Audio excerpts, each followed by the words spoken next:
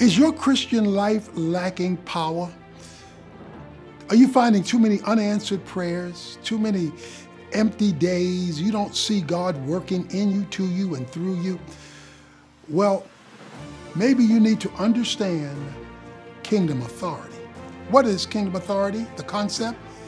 It is our designated, divinely ordained right and responsibility to exercise power on God's behalf and rule on his behalf on earth.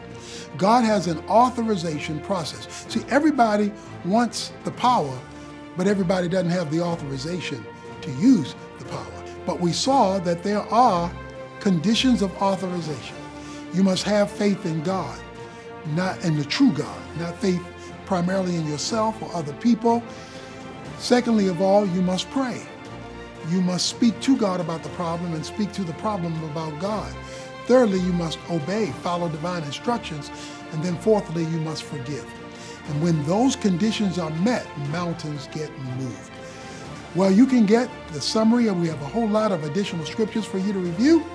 And it's the uh, study guide. You can go online, ocbfchurch.org forward slash study guide. That's ocbfchurch.org forward slash study guide for an outline of the message, additional scriptures, a summary of the message to keep you growing all week long in exercising kingdom authority.